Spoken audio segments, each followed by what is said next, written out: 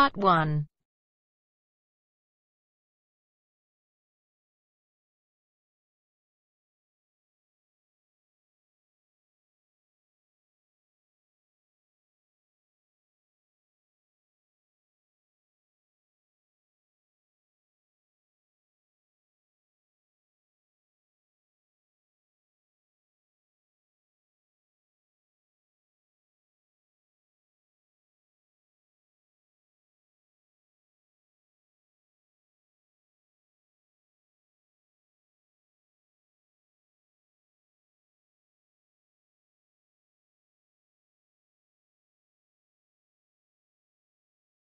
You will hear a telephone conversation about a car insurance claim.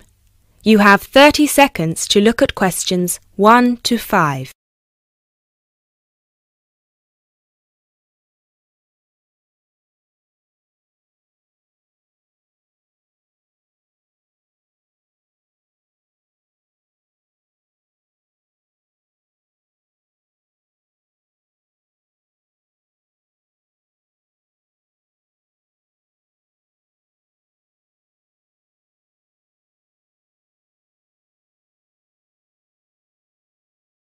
Good afternoon. Watto Insurance. This is Janet speaking. How may I help you? Yes, hello. Um, I would like to make a claim on my car insurance, please. Certainly, sir. First of all, I'd like to inform you that all of our calls are recorded for monitoring and training purposes. Is that okay? Eh, That's okay. Could you please tell me your full name? Sure, it's Mr. Bennett Fisher. Okay, sorry, how do you spell your surname? It's spelled F I S C H E R. Great, thank you. I see that you have taken out a third party fire and theft premium with us on a 2013 light blue Volkswagen Passat. Is that okay? Uh, yes, well, almost. Uh, the colour is not light blue, it's light green. Okay, thank you for updating your information with us. What is the nature of your claim with us today? Last weekend, I had driven up to York on business and left my car in a monitored car park. However, it was only monitored until 8 pm, and I did not return to collect it until 9:30 pm, after which no car park staff were present. When I arrived at the car park, my car wasn't there. It must have been stolen. I see. Were there any valuable items left in your car which could have been seen from outside? Well, I had recently bought quite an expensive radio for my car, but the front panel is detachable, and I always stow it in my glove compartment. So, no, there wouldn't have been anything valuable on display. Okay, Mr. Fisher. Thank you for that information. I'm going to send you some forms through the mail for you to fill in. Before I can do that, I need to ask you a couple more questions. Is that okay? Of course.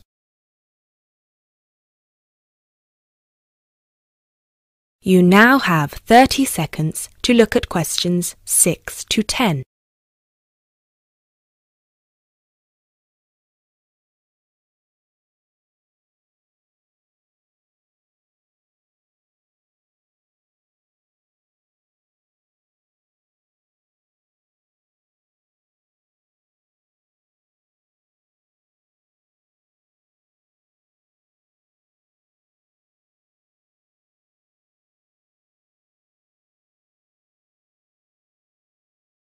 Thanks, Mr. Fisher. First of all, could you let me know your policy number, please? Of course. I have it right here. It's G34C245. G34C245. Thanks. And the type of claim? Shall we say stolen car? Yes, the car was definitely stolen. I reported it to the police immediately. Uh, I actually have the report number here if that's of any use. No, not right now. But keep hold of that as we will need to see a copy of the police report eventually. Which police station did you report the offence at? York Police Station. Was it your first time in York? No, but it was the first time I'd driven there. Uh, I usually take the train. Were you aware that the car park was only manned until 8 pm? No, I, I was not aware of that. Were there any signs put up on the premises that informed car owners of the risks of leaving their cars after normal operating hours? Yes, but they said the car park was going to be guarded until 10 pm, at which point the entrance is barred so no cars can come in or out. Was any reason given for that sudden change? The police informed me that the staff on duty that night had left on an urgent call. I believe it was something about a family member being admitted to hospital. Were there any personal items left in your car? Yes, uh, first of all, there was the car radio I mentioned before. Ah, yes, of course. Anything else? Uh, Just some CDs and an old jacket. Right. Thank you, Mr. Fisher. I have everything I need for now and will send these forms out to you shortly. When you get them, please fill them out with as much information as you can, and where possible, include copies of any relevant documents to support your claim, such as police reports and registration details. Once you have returned that to us, we can then start to assess whether you will be eligible to receive compensation. Do you have any further questions for me today? No, that's all. Uh, thanks for your help. That is the end of part one. You now have half a minute to check your answers.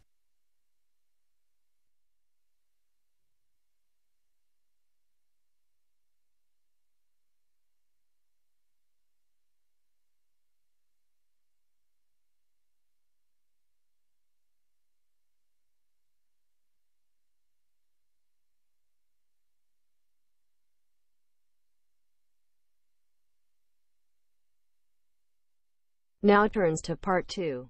Part two. You will hear a speech given to new employees at a museum. You have 30 seconds to look at questions 11 to 13.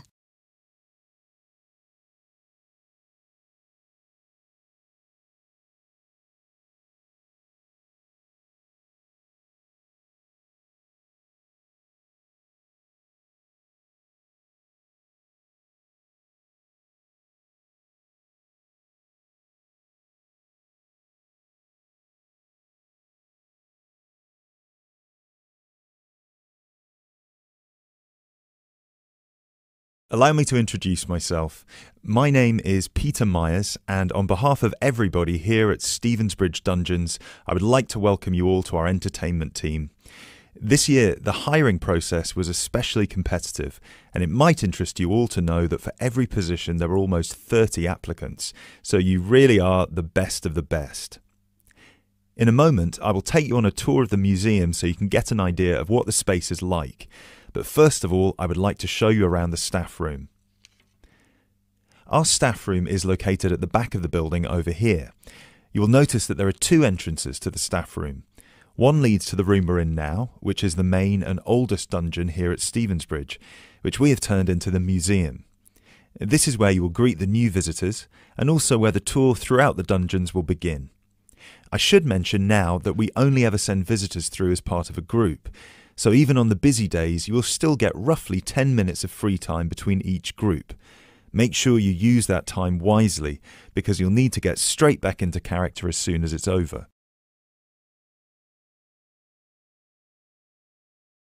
You now have 30 seconds to look at questions 14 to 18.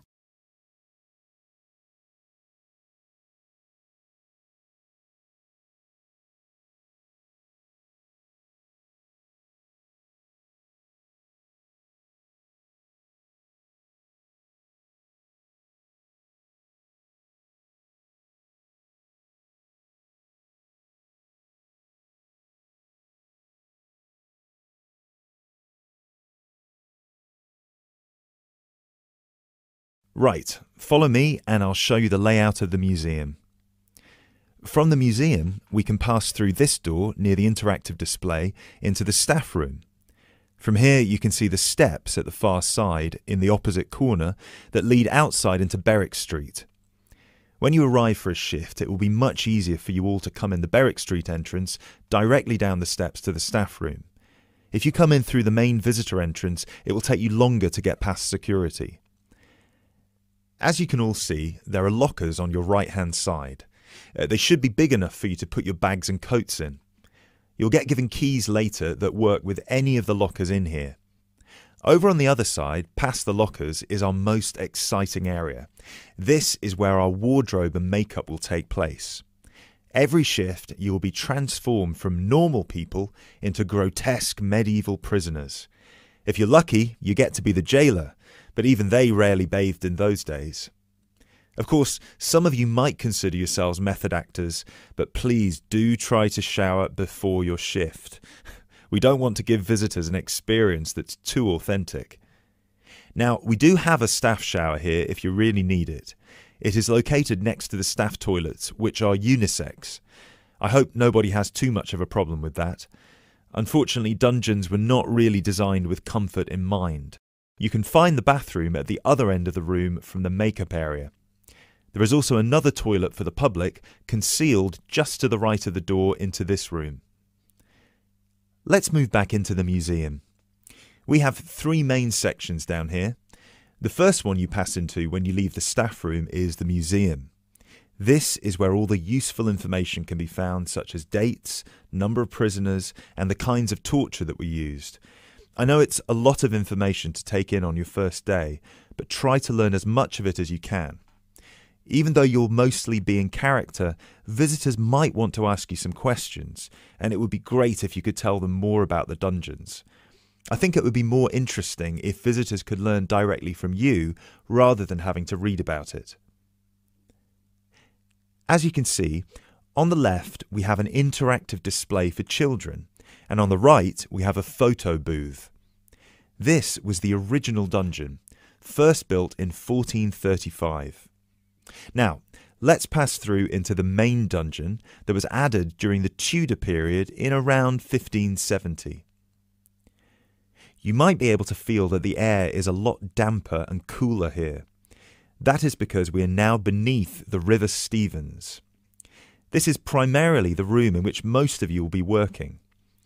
This is where many high profile religious figures were held, sometimes for years on end. Depending on the roles you'll be playing, you can either be chained up, free to roam, or, if you're a jailer, wandering between prisoners to keep an eye on them. You now have 30 seconds to look at questions 19 to 20.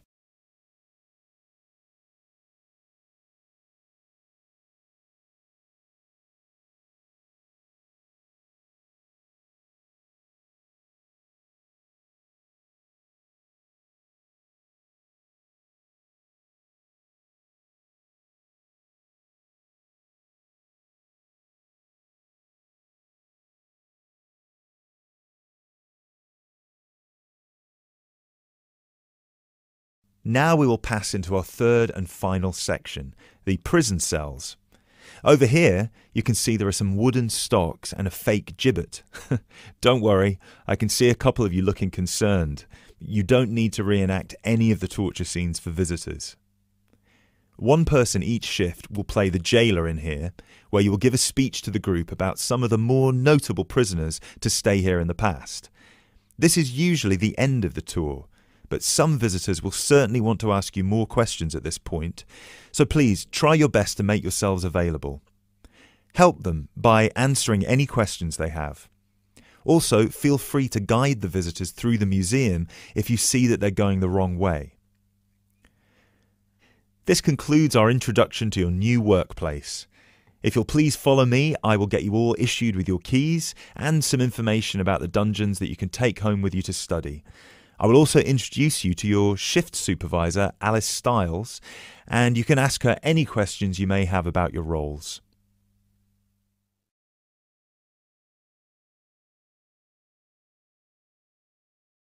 That is the end of part two. You now have half a minute to check your answers.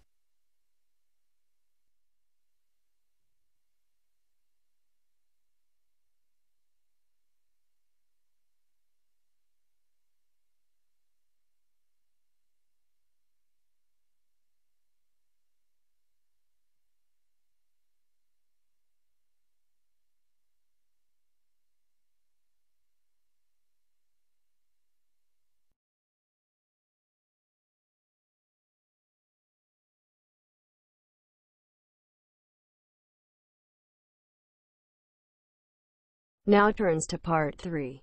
Part 3. You will hear a conversation about tea between an expert and a reporter. You have 30 seconds to look at questions 21 to 24.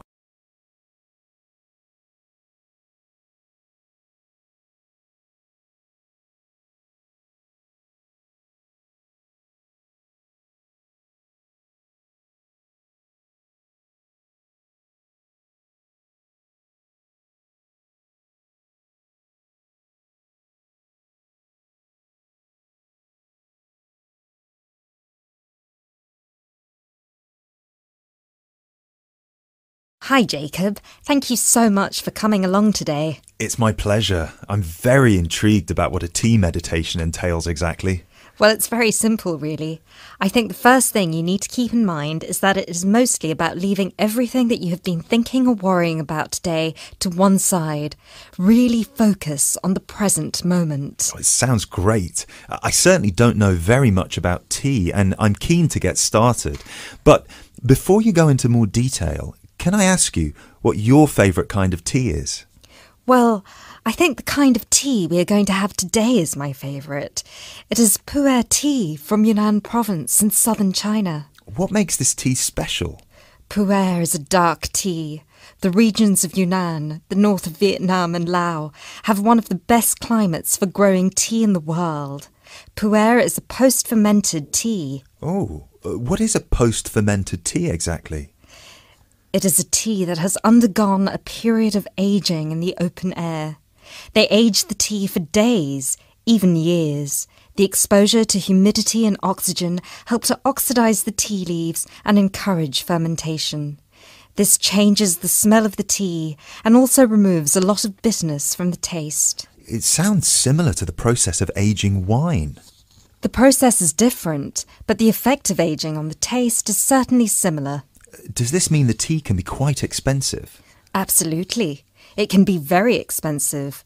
The tea is usually pressed into balls or cakes and sold. At one time, only tea enthusiasts cared about buying these cakes, but now many people have realized that they are an investment and so buy them like they would buy gold because the price goes up a lot over time. You now have 30 seconds to look at questions 25 to 26.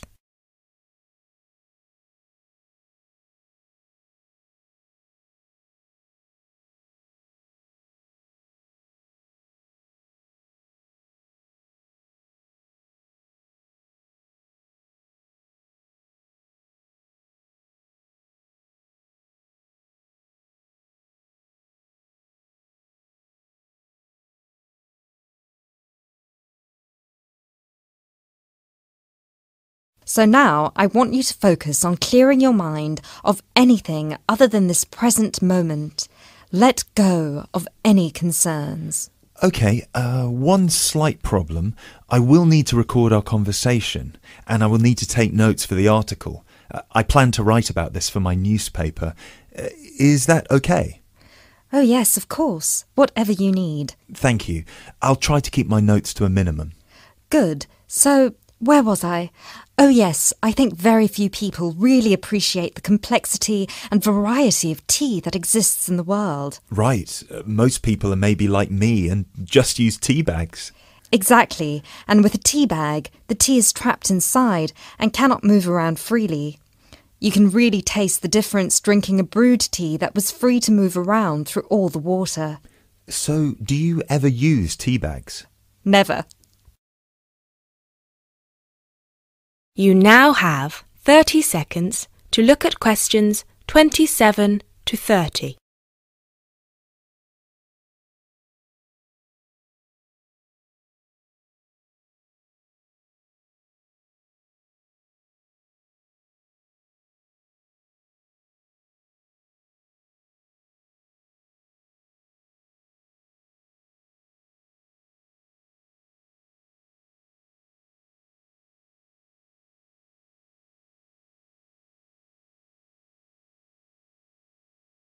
There are many different kinds of tea white, yellow, black, green, oolong, matcha, herbal, and many others.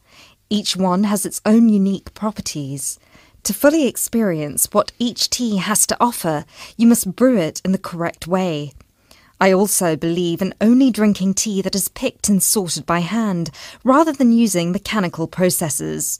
Although it takes more time, the tea made by hand is so much better that it leads to an increase in the tea sales. But in that case, surely if there is more interest in the tea, and with the time intensive farming process, this means there could be shortages because the demand is higher than the ability to produce it. There were shortages for a while, but then an artificial fermentation process was developed in the 1970s, which helped to speed up the fermentation times. As I mentioned, this process has an aging effect on the taste of pu'er tea that is very similar to the effect on the taste of wine that you get from that fermentation process, though for pu'er tea today, we're talking about that artificial process. How can they do this artificially? The farmers gather the tea leaves into a big pile, then cover it with a large sheet or tarp. They spray water on the tea every now and then, and therefore fermentation happens faster. Usually, the tea is left for 30, 45, 60, or even 90 days still. The farmer will check the tea every few days, and just by the feel of the tea, he knows whether it is ready or if it needs more time. Wow, that sounds like a fascinating process. I never realised that there was such a science behind producing tea. Well, now you are ready for the best part the tasting of it. That sounds like a very good idea to me. So, what I will do now is boil the water and we can begin our meditation. What does that entail? We need to focus on only two things. The first is your mind and body.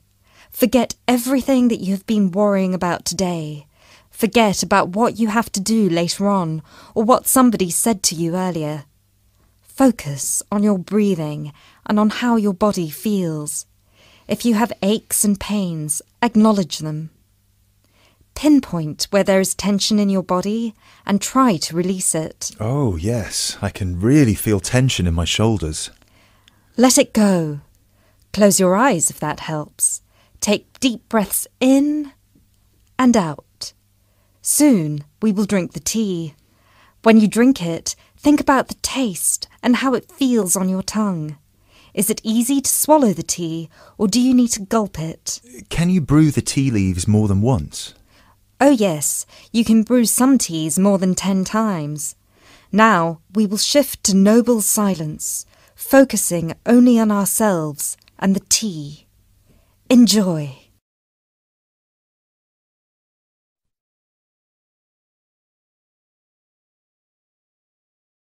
That is the end of part 3. You now have half a minute to check your answers.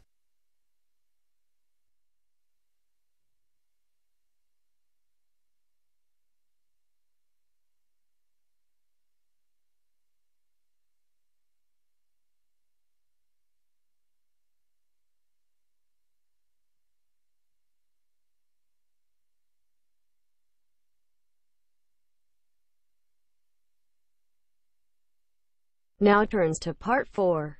Part 4. You will hear part of a lecture about architecture. You have 30 seconds to look at questions 31 to 36.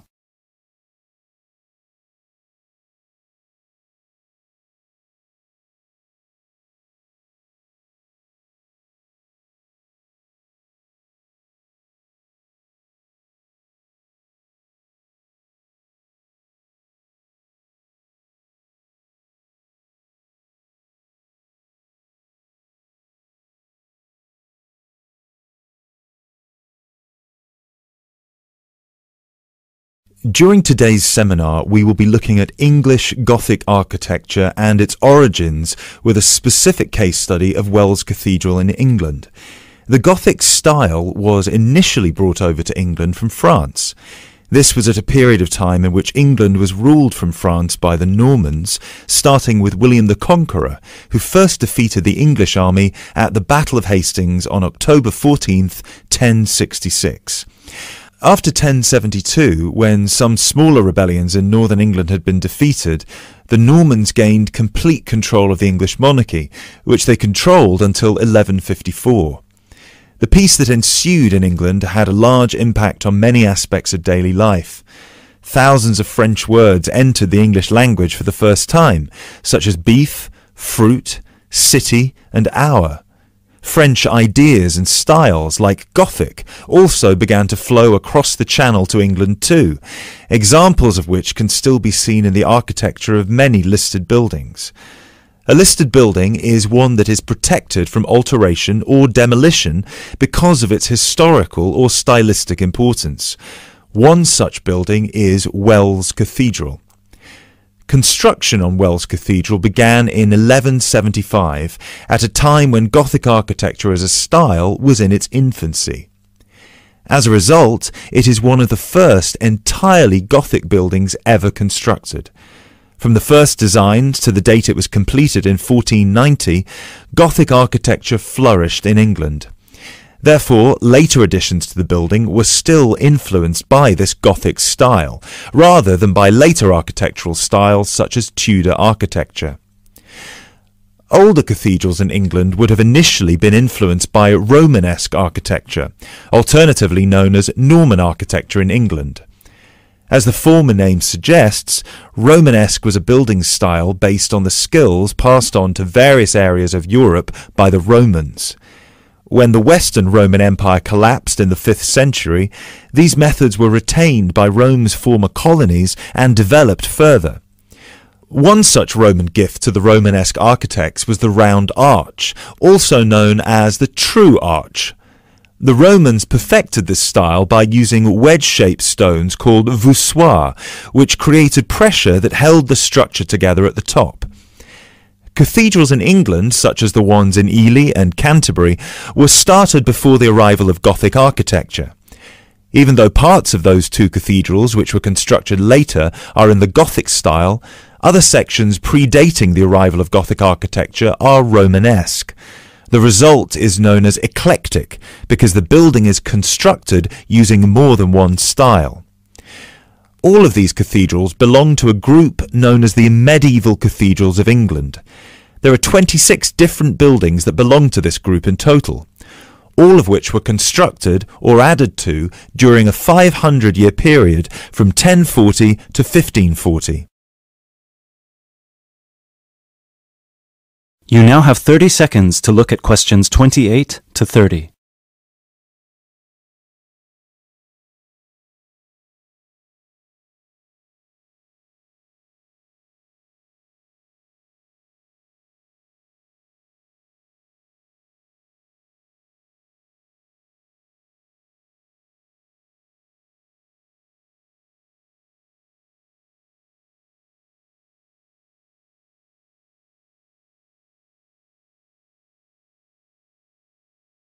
The transition from Romanesque to Gothic began in 1144 at the Abbey Church of Saint Denis on the edge of Paris.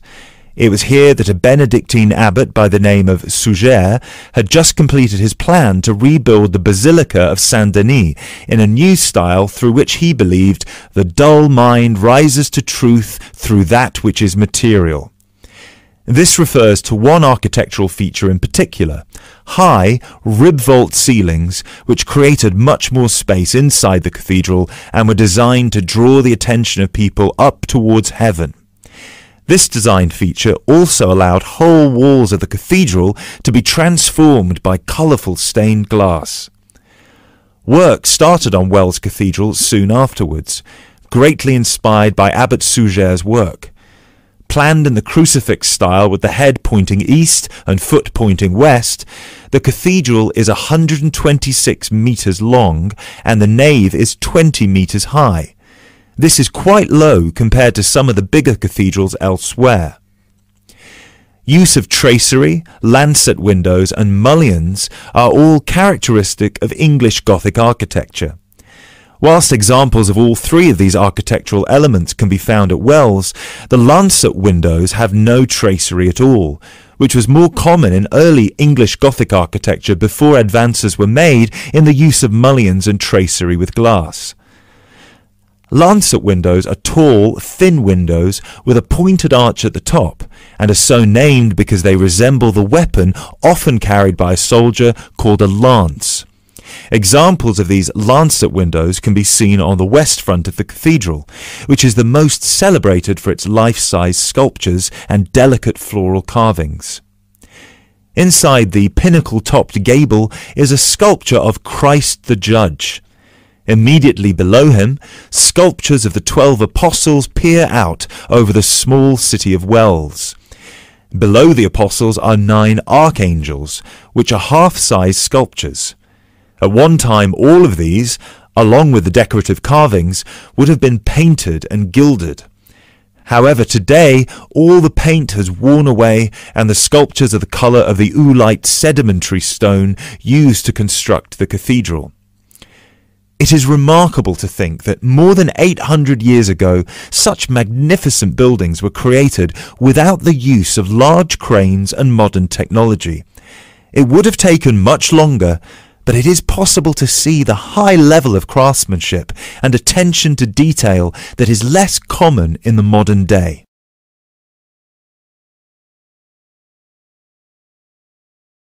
That is the end of part 4. You now have half a minute to check your answers.